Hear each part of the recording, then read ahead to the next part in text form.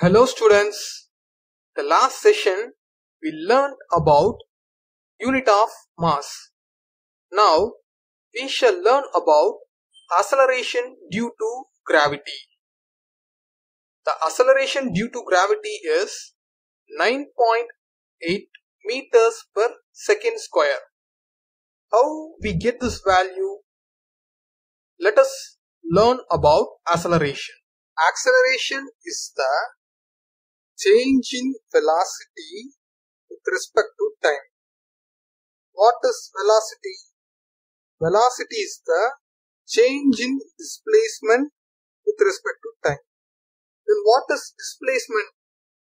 Okay, let us consider this ball. If we give a force on this ball, this ball will move for a while and stop at a point. Why this happens?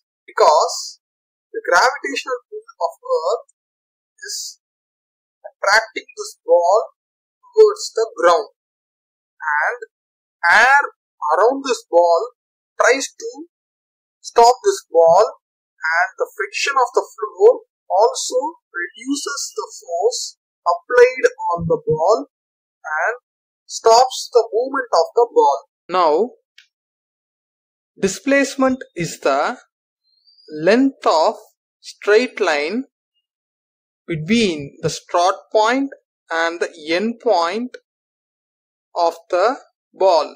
That is from here to there.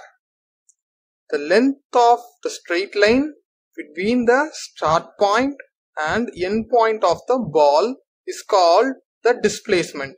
In order to find out the velocity of the ball we should apply a formula that is velocity is equal to displacement by time taken. That is displacement is the length of this line from the starting point of the ball to the end point of the ball. And time taken t is the time taken by the ball to reach this end point from the start end. Now, if I tap this ball with a more force, now the ball travels faster, the same displacement happens at a faster time. So what will happen? Now the time taken will be reduced and the velocity will be increased. So if force applied on the object is more then the velocity will increase and the time taken for the reaching the length is reduced that is the displacement is more or the displacement happens in a shorter time so if force is increased the velocity will also increase. Now i'm going to tap this ball continuously. Let us see what's happening. So for every tap we provide on this ball the velocity of this ball increases with respect to time. So the ball can now reach the same length faster. That is the velocity increases every time we provide a force on the ball. So if we tap the ball the velocity of the ball increases at every tap. First the ball will be at rest. Now the velocity is at zero. So when I tap for the first time, the velocity will be at v1.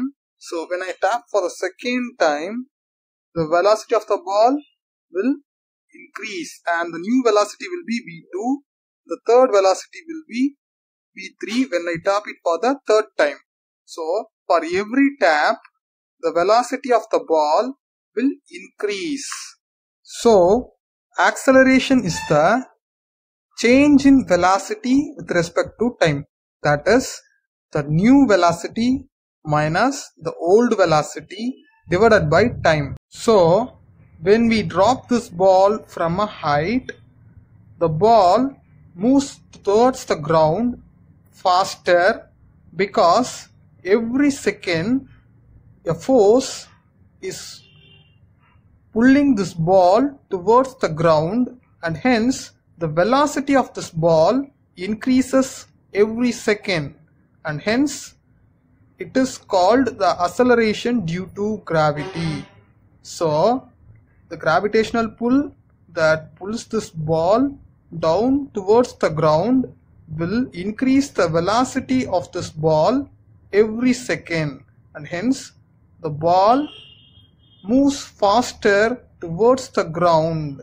Drones and any other particle in air moves towards the ground faster when dropped in air because the velocity of the particle moving down towards earth is increased for every second. It is called acceleration due to gravity. Next session we will learn how to make this drone hold its altitude and make a stable position in air against the acceleration due to gravity.